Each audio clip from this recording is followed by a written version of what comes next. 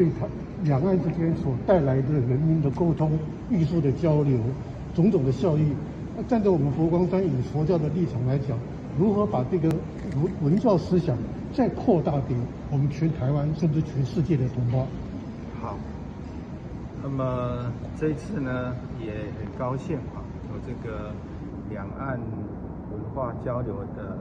签署。那么实际上，佛教呢，对于中华的文化，可以说啊是很深入的。可以说，整个传统文化来讲呢，这个佛教可以说是啊占了一个相当大的比例。所以我们也常讲啊，这个佛教东传两千年。也说佛教到这个中国已经有两千多年的历史，可以说影响中华文化非常的深远。那这一次的签署，还有加上前两次的这个交流合作呢，我觉得让我们的啊，不管是文化还是佛教传统艺术呢，都能够透过呃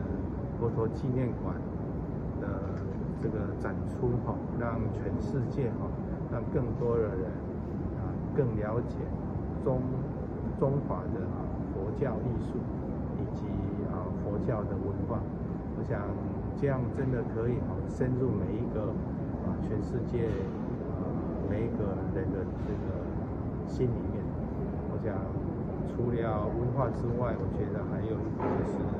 啊佛教的。比如说这个佛教的思想啊，啊，佛教的这个种种呃好的理念呢，能够透过这样的展出让大家接受，我觉得这个也是在弘扬佛法，就像青年大师讲的，以文化来弘扬佛法，所以这一点我觉得是相当好的一件事情。